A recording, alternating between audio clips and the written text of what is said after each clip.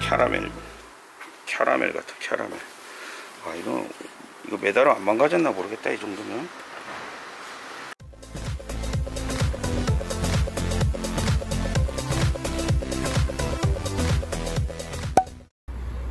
벤츠 W212 차량이 입고가 되었어요. 요거는 2009년식이라고 하셨던 것 같은데 일단 입고된 이유는 물이 자꾸 준다고 방문하셨고 엔진은 이제 그 전 세대 모델 M272 엔진이 올라가 있어요. 그리고 지금 견인차로 입고가 되었는데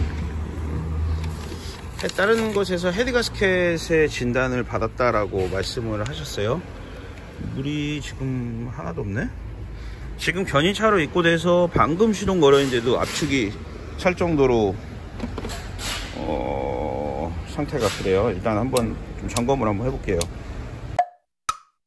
지금 냉각수는 하루에 20리터를 오지. 20리터 말도 안 되는 양인데. 이거 일단은 냉각수 헤드가스켓 상태 확인하는 fluid고요. 그렇고 한번 지금 시동 안 걸어 놓은 상태고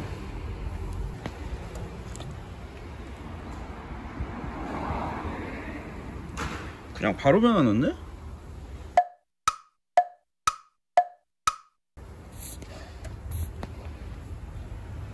색깔이 바로 변하는데요 이거 바로 변해 바로 시동 한번 걸어봐봐 뭐 이거 어떻게 이렇게 금방 변하지? 얼마나 가스켓이 들떴길래?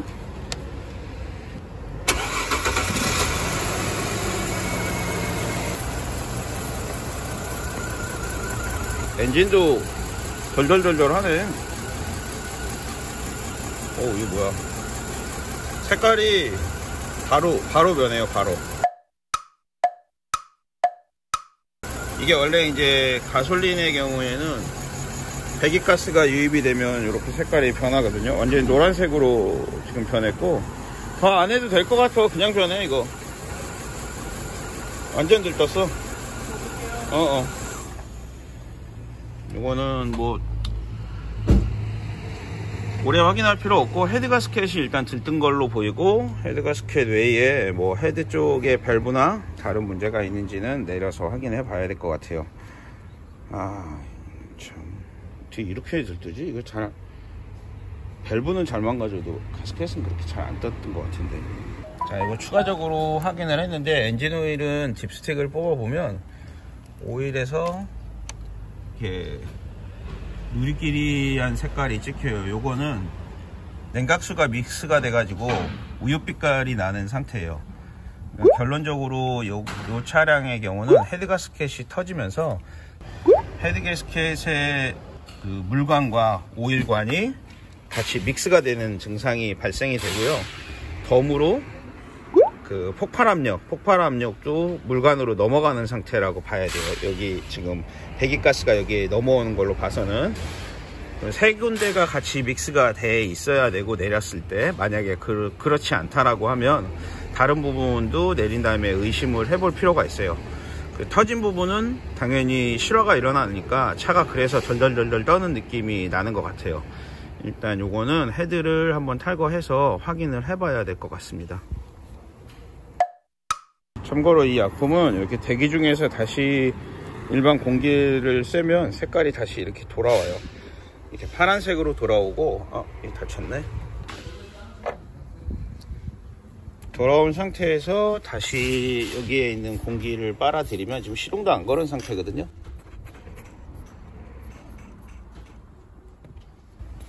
색상이 변해가고 있는 게 보이시죠?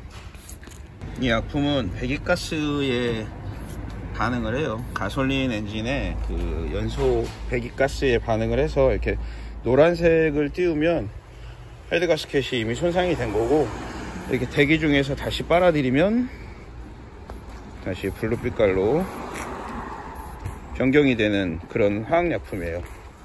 점점 파란색으로 돌아오죠. 일반 요 대기 중 공기를 쐬면 이렇게 다시 파란색으로 돌아왔어요. 머플러에다 갖다 대면 색깔이 바로 노란색으로 변하는 약품이기 때문에 이 약품으로 헤드 가스켓의 테스트를 하기에 가장 적합하다라고 볼 수 있어요. 짐작만 보통 하기 때문에 짐작하지 않고 이렇게 과학적인 방법을 이용할 수 있죠. 헤드 가스켓의 이상 유무를.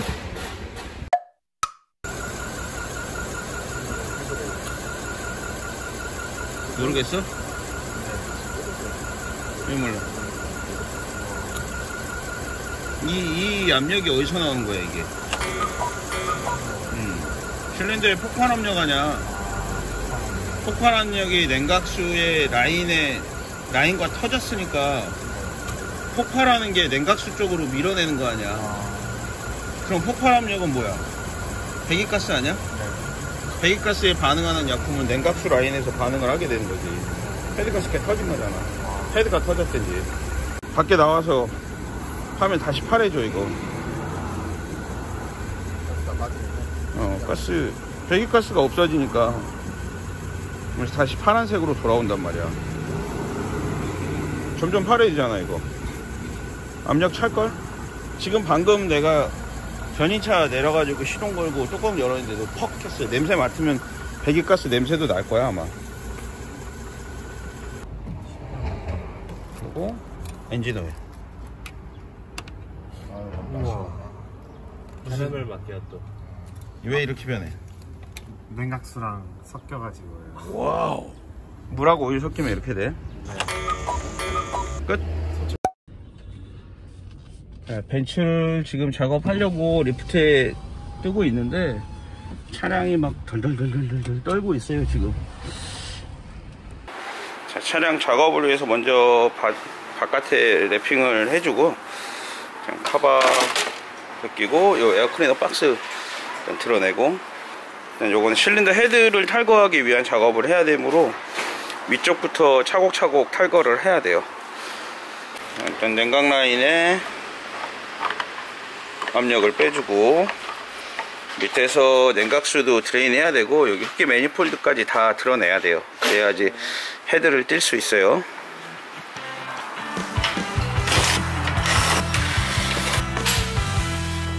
자, 머플러를 탈거하고 나서 이렇게 보면 저 뱅크 원쪽 배기 매니폴드를 보면 약간 수분이 있는 게 보이고요. 뱅크 2 쪽은 허옇게 정상적인 연소된 상황이 보통 이렇게 나오거든요 그래서 이쪽에서는 약간 물이 좀 떨어진 걸로 봐서 차량에 먹은 물들이 다 머플러로 이렇게 나왔을 가능성이 좀 높아요. 지금 머플러가 쳐지는 순간 여기 머플러에 고여있던 물들이 이렇게 떨어지는 걸로 봐서는 물이 이 안에도 엄청나게 고여있다는 얘기고 뭐 20리터씩 먹었다고 하니까 하루에 그 물이 여기 있겠죠. 이게 클램프도 메모해놨다가 이거 교환해야 될 품목으로 적어놔 자 일단은 아래쪽은 이렇게 작업을 먼저 해놓고 뭐 벨트 풀고 발전기도 떼야 되는데 일단 그건 나중에 일단 헤드 먼저 내리는 거부터 해야죠. 아, 일단은 점화 코일은 양쪽을 다 뽑았는데 지금 bank one 쪽에 보면 아까 제가 머플러에서도 봤을 때 bank one 쪽이 연소 상태가 이상하다고 했잖아요. bank one쪽 코일이 신품이고 bank 2 쪽은 코일이 고품인 걸로 봐서는 아마 이쪽 bank one 쪽에 헤드 가스켓이 완전히 들뜬 것 같기는 해요. 내려봐야 정확하지만 일단 현재는 그렇게 보여지고 있어요. 흡기 매니폴드를 탈거했는데 흡기 매니폴드에서 이거 한번 기울여 봐봐. 아까 물 떨어지더만. 흡기 매니폴드 안에 물이 고여 있는 것 같아요. 물이 떨어져요 물이. 어 줄줄줄줄줄 물이 지금 매니폴드 안에 고여 있어요. 이 manifold 안에 고여 있다는 거는 blow-by를 통해서 수증기가 들어갔다는 얘기고 먹은 물은 다 타가지고 뒤로 나오든가 아니면 흡기로 다시 들어갔다는 얘기예요. 헤드를 내려야 이제 정확하게 알 수 있는데 아유 힘들어. 땀이 나네. 점화 플러그를 탈거해 보니까 플러그 끝에도 물이 고여 있고 여기는 이미 부식 자국이 있어요. 그러니까 많이 곳곳에 물이네요 곳곳에. 그 이 하루에 10리터 20리터? 하루에 20리터씩 들어가는 물이 다 어디로 갔냐면 다 일로 들어간 거예요. 아이고 참 가슴이 아프네. 이거 뭐 실린더나 문제 없어야 되는데. 문제 없겠지? 아이고. 1, 2, 3번 뽑아냈는데 1번이 가장 물이 많이 젖어 있어요. 실린더 내부에 아마 1번 쪽이 가스켓이 터진 게 아닌가 싶기도 한데.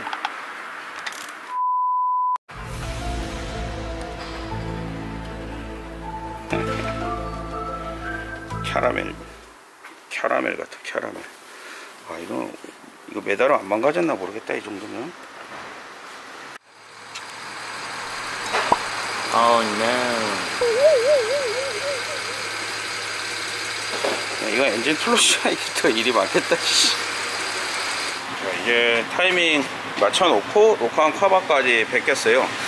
벗기니까 이 안에 이제 오일하고 물이 섞인 액체가 잔뜩 있고요 누리끼리 해서. 어, 다행히 camshaft의 베어링 부분은 크게 손상은 없었던 것 같아요. 이렇게 뭐 아주 좋진 않지만 손상은 없는지라 이대로 조립해도 될 것 같아요. 메탈 베어링 쪽은 큰 문제 없겠죠 네, 일단은 cam하고 드러내고 그러고 나서 헤드까지 드러내면 답이 나오겠죠. 이쪽 실린더가 지금 문제 있다라고 저는 생각했기 때문에 여길 먼저 한번 드러내 볼게요. 당연히 저쪽도 작업을 해야겠지만 궁금하니까 먼저 어느 쪽이 나갔고 어떻게 나갔는지 한번 내려서 한번 볼게요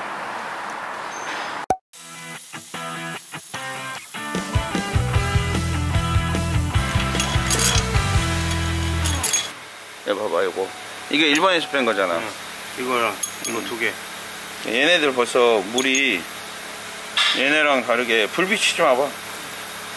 음 여기. 그치. 아. 이미 여기에 물이 들어갔다는 건 헤드 가스켓 터져가지고 헤드 볼트 공간에도 물이 들어갔다는 얘기야 이거. 얘는 벌써 이미 이 끄름이 묻어 있잖아. 네. 헤드 볼트에. 이거 바꿔줘야 돼 이거. 끄름 묻었으면.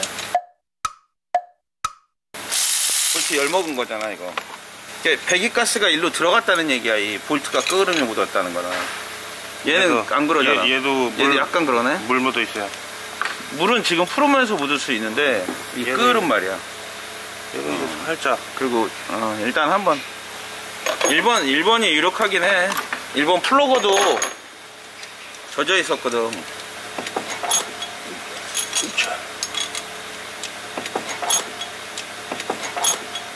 걔도 와 얘는 뭐? 얘는 완전히 녹났네 6번도 터졌나 보네 아니 3번 3번 그게 3번이잖아 네. 3번이 완전히 터졌나 본데 어이씨 안 빠진다. 실린더는 스크래치가 양호한 상태네 자리에서 다 일로 넘어. 키자리도 키자리인데 여기가 지금 터졌어 이거 음. 이게 지금 배기가스가 일로 새 나간 거야 음. 그리고 여기가 물관이잖아. 이게 지금 끄름이 묻어 있는 거야 이게. 아. 그리고 여기는 물관. 네. 그럼 끄름이 일로 넘어간 거야 지금. 그리고 여기 헤드 볼트 자리고 네. 여기 물 여기 다 물이잖아 이거. 네. 근데 여기 다 터졌어 여기. 다 터졌잖아 여기. 음. 그리고 여기도 터졌고. 이게 전체적으로 다 터진 거야 이거. 지금 이렇게 들어가면 여기 여기. 여기 터졌어 여기. 음. 요 자리 여기 여기 터진 거야 이거 지금 이게 여기 옆에가 실린더가 여기가 물건 물통 여기 완전히 아, 터졌네 터졌네. 이- 여기 여기도 터졌네요. 어, 여기. 그러니까 여기가 터지면 여기서 압축 가스가 계속 터지 터지면서 나가잖아 네. 그러면서 가스켓을 이렇게 들뜨게 만드는 거야 아. 그러니까 여기가 바로 옆에 물관이니까 이 물이 물이, 이. 물이 일로 들어가고 여기서 압축 가스가 일로 나오고 그리고 오일도 요 사이에 오일관들이 있는데 오일관들도 가스켓이 안 좋으니까 다 넘어가는 거고 이 키자리도 이거 아씨 밸브는 멀쩡하겠지? 그죠. 밸브 어차피 랩핑해서 올려야지 뭐. 야 어떻게 가스켓 이렇게 처참하게 나갔지? 이렇게 터진 게 가끔 그렇게 나가. 압축 폭발 압력이 요 가스켓 사이로 해서 이쪽 물 라인으로 넘어가 버리고 그리고 1번과 2번 사이에 요 사이 부분이 가스켓이 터져서 압축 압력이 이쪽으로 넘나들고 출력이 제대로 나올 수가 없고 가스켓이 들뜨니까 물이 여기까지 침투해서 요 키를 이렇게 다 부식시켜 버리고 여기도 지금 터져 있는 자리인데 압축 압력이 여기 물관, 여기 물관, 여기 물관 다 넘나드는 흔적이 있기 때문에 이거는 뭐 헤드 쪽의 문제라기보다는 가스켓의 문제일 가능성이 뭐 확실하게 보이니까 이거. 가스켓. 빵. 헤드를 내리고 봐도 여기 연통 사이로 연통이라고 하니까 이상하다. 연통 사이로 압축가스가 다 이렇게 새까 여기 특히. 이 자리가 샌 거라고 여기. 이게 여기가 물 여기가 그 연소실이니까 터지면 바로 물로 가고. 그러니까 뭐 엔진이 시동 걸리면 계속 물로 왔다 갔다 하는 거지 뭐. 여기. 물이 물이 아까 들어가 있더라고. 해- 그, 저 흑기 매니폴드 내리는데 물이 그냥 줄 아, 흘러. 그래요? 이런 데 다 터진 거야 이거. 아. 여기로 안 새는 게 다행이야. 이쪽 자리도 지금 물이 일로 넘나든 거고요 가스켓이 들떠서. 여기가 특히. 그러니까 아래쪽 면이 다 들뜬 거야. 일단 원인은 나왔어. 헤드는 양쪽을 지금 다 탈거를 했고요. 이쪽 뱅크는 물이 가스켓이 그렇게 터진 흔적은 보이지 않고 심하게 터졌던 건 이쪽 그 뱅크 원쪽 그러니까 줄석 쪽 뱅크만 좀 심하게 터졌었어요. 그 실린더 헤드는 요 아씨 요 밸브 지금 빼다가 씨, 망치에 손을 한 대 맞아가지고 엄지손톱이 엄, 손이 엄청나게 부었어요. 아 손이 지금 씨, 제대로 쓰질 못하네 일단 밸브의 lapping. 요, 요 엔진 같은 경우는 이 밸브에서 기밀이 누설돼서 밸브가 빵꾸 나는 경우가 종종 있기 때문에 밸브 lapping 작업을 거치고 guide seal 교환해서 헤드를 다시 얹을 거예요.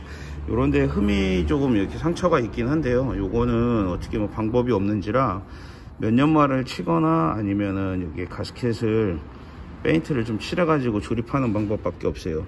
근데 몇 년 말을 치면 이 가솔린 엔진 같은 경우는 이 연소실의 크기가 정해져 있어 가지고 연마침만큼 압축비가 상승하기 때문에 노킹음이 일어나는 가능성이 굉장히 커요.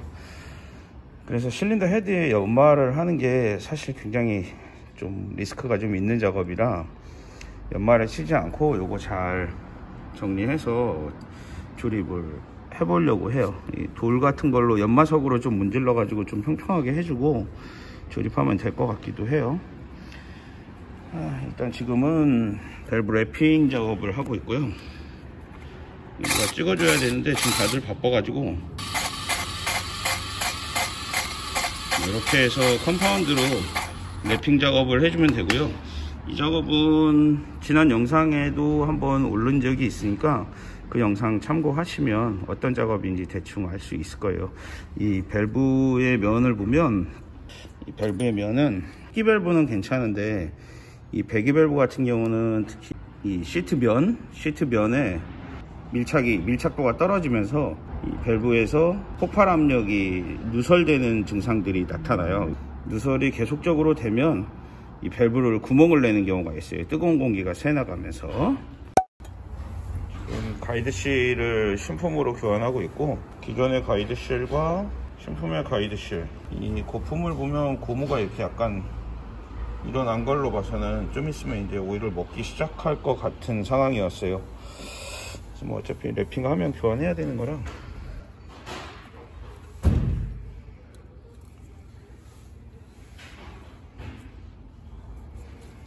가이드실 교환하면서 확인을 해보면 이 홀, 홀 차이가 상당히 많이 나요. 이 구멍이 늘어났다는 거는 그동안 오일을 계속 소모했다라는 얘기고 그때 맞춰서 교환을 하는 거죠 이제 오, 조립 끝나면 바로 엔진에다 장착하면 별 문제 없이 차량이 운행할 수 있을 거예요 이제